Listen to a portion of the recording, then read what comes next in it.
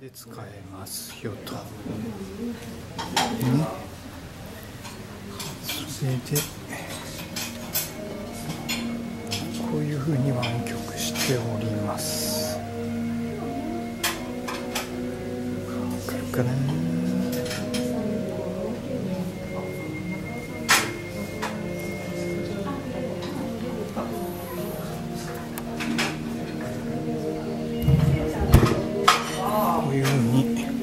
高さを調整できます。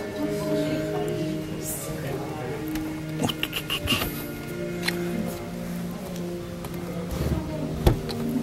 とこういうふうに高さをんでこの角度は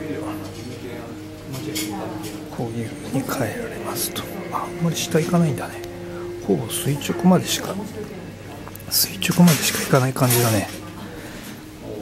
で上はここまで。上はここまでですね。でこいつはピボットはしないよと。でここの台座が